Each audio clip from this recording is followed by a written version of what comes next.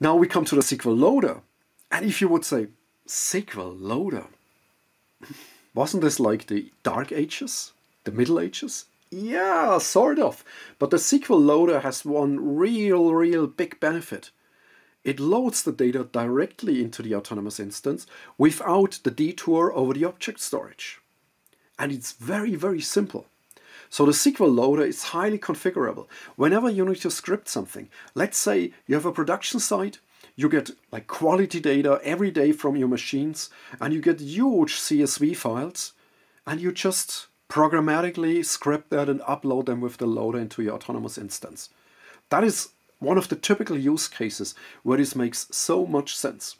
And it can even transform your data. So it loads from a local file, CSV or text.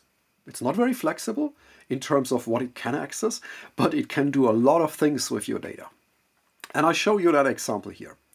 So in this case, we have the album CSV. So you see this is the file with an ID, then a connection to the bands table, the album title, and also the year.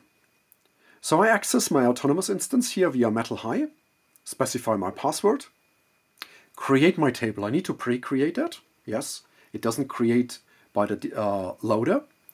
And now I run the loader to Metal High with the table into the table albums with the CSV file albums and then I kick it off, password, and go. And it really runs that fast. We didn't speed that up. So just going directly into it, 28,069 records. Let's choose. Uh, let's check the log file. Everything seemed to be loaded successfully. No errors. That is good. Let me quickly access the data.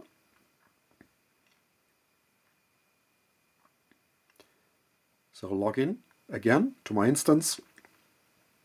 Quick query, just first 10 rows. Data is there. That looks cool. And this is really, really fast.